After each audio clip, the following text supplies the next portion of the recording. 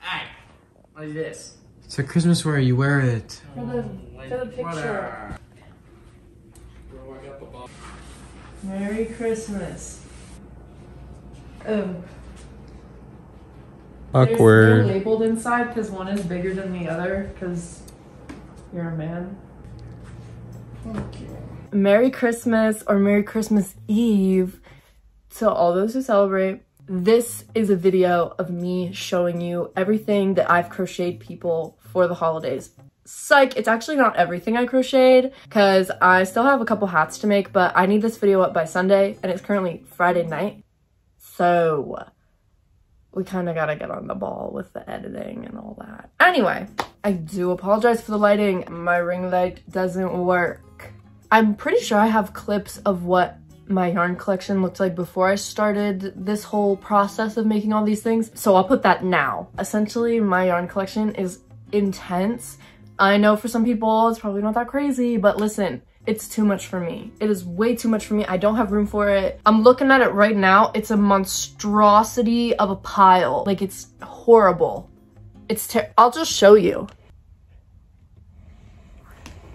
And this is after I did all the projects, but basically for all these Christmas gifts, I challenged myself to only make things using the yarn I currently have because I have a tendency that despite having this whole pile of yarn, to pick from every time I start a new project, I go out and I get new yarn. If you're one of my friends or a family member and you didn't get a gift from me yet, which you didn't, click off this video until after you get this stuff from me. If you watch this video and you spoil the present for yourself, I'm gonna be mad at you.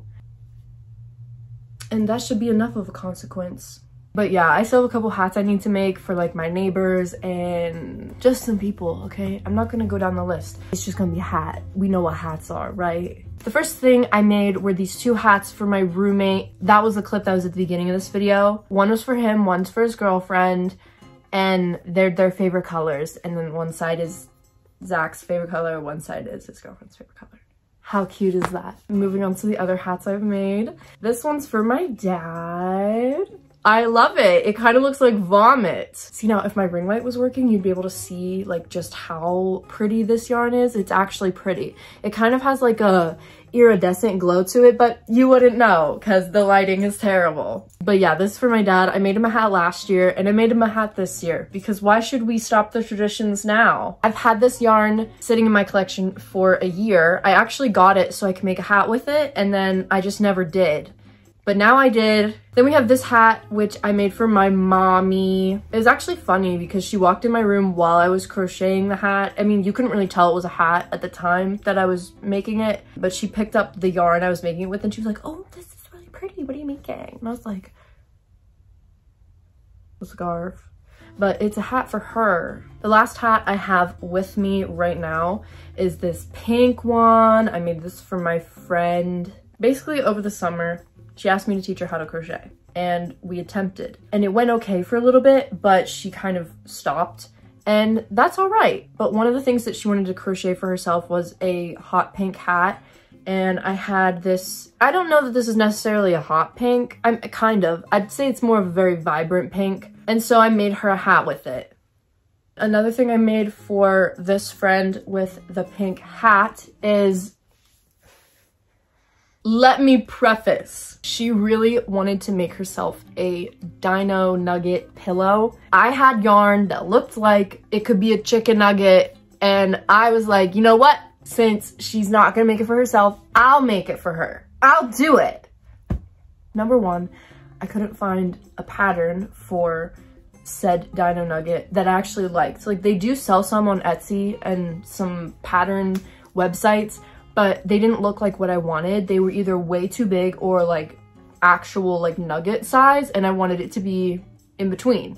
And so I was like, okay, no biggie. I'll just use a regular dinosaur pattern. Well, the thing about me is I hate following patterns for like stuffies and things like that. Sorry, plushies. I'm just not good at it. I don't count when I crochet and you have to count when you make them. And so this definitely is very far from my best work and I don't even think it looks like a dino chicken nugget at all.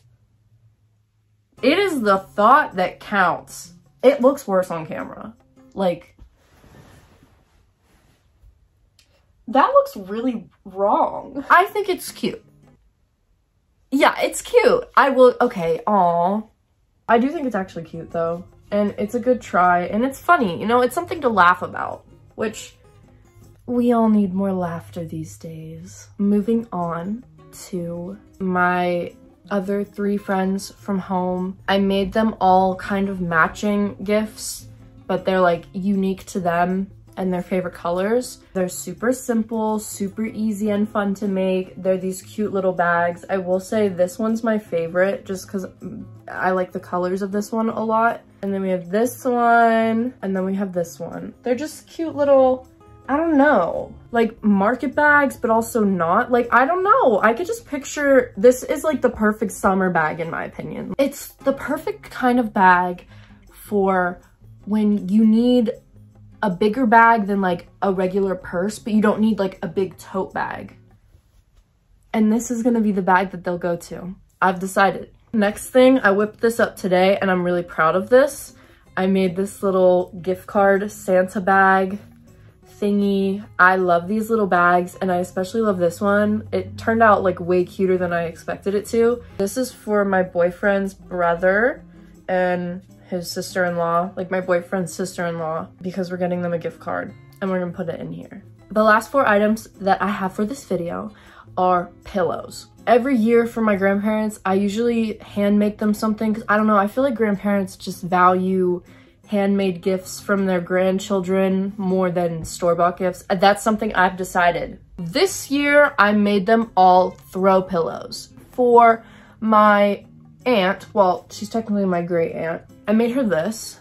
It's very cute and I love it. Here's the thing about it. I intended for this to be a cat pillow because she loves cats. There was gonna be a tail and then there was gonna be ears and then there was gonna be legs and then like a face and it was gonna be so cute. I had a reference picture, I'll put it here.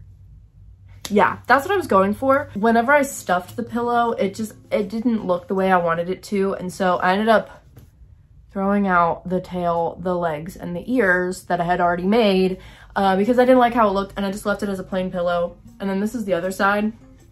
So two vibes going on. Perfect pillow. The next one I made is for my grandma. I love the color scheme. I made this to match her bed, her bedding, her comforter. And then the other two pillows I already gave to my grandparents, so I'll put pictures here. This one matches my grandma's house literally perfectly. It looks so good in her living room. And then this one, my grandparents haven't opened it yet, so they don't even know what it looks like. That is everything I crocheted for people this Christmas. I was planning on doing more and then time really just got away from me. What can I say? Thank you so much for watching this video. I hope you liked it. I would love to do more crochet videos. I just don't know exactly what. So if you have ideas, please consider subscribing. Please do subscribe, like this video, and see you in the next one. Bye.